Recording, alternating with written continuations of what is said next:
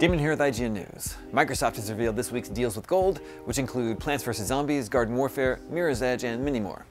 Garden Warfare is 50% off this week for Xbox Live Gold subscribers on Xbox One and 67% off for subscribers on Xbox 360.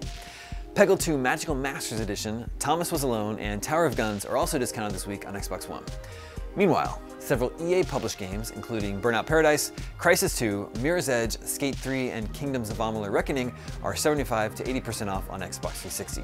Microsoft recently revealed next month's games with gold, with Assassin's Creed 4 Black Flag and Gears of War 3 leading the pack. For more, stay tuned on IGN.